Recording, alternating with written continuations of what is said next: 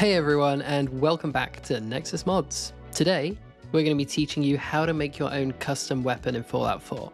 We'll be duplicating an existing weapon, renaming it, tweaking its stats, and getting it into the game. Before we start, make sure you've got a copy of Fallout 4, obviously, the Fallout 4 Creation Kit, which you can find on Steam for free, and our Vortex Mod Manager to load your new item into the game. As ever with Bethesda games, if you're using a fresh install, it's a good idea to load the game first. Just get to the main menu and quit. That just ensures that all the game files are created and they're in the right spot before we start modding.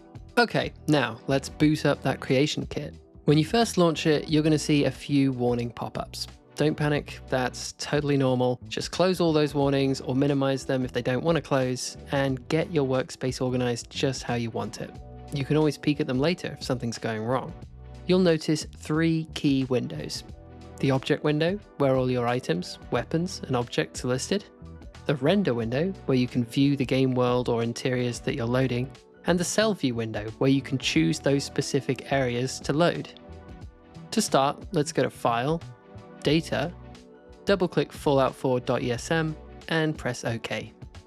The kit's going to load all the game's data. It might look like it's frozen for a minute, don't worry, it is doing its thing, it just takes some time. In the object window, expand the items category.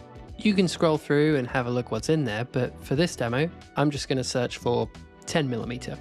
Once you've found something you want to change, just right click it and hit duplicate. That's going to add a new item with copy in the name. Double click on it to open the properties window. Rename it to something unique. Giving your item a unique ID that clearly links it to your mod is the best practice. It keeps things tidy, it makes your items easier to find later, and it'll help avoid conflicts if another mod uses a similar name. It's always important to duplicate an item first before you edit it, even if the creation kit asks you if you want to make a copy after an edit. It avoids unnecessary changes to the game hidden within your mod, called dirty edits. Here, you can adjust loads of stats, but for now, we'll just stick to the basics. In this example, I'm going to rename mine to Old Reliable, and I'll just make it do loads of damage. Why not? When you're done, hit OK. Go to File, Save, and give your new plugin a clear name, something like mypistolmod.esp. You can then open your mod again by simply clicking on the folder icon in the top left. Check it in the dialog box but also click Set as Active File. Let's place the weapon in the world. To do that, you're going to want to use the Cell View box and search by Commonwealth and find it in the list.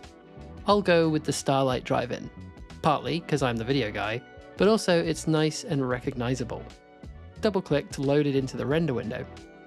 Once it's loaded up, hold the mouse scroll button to move your camera around the world.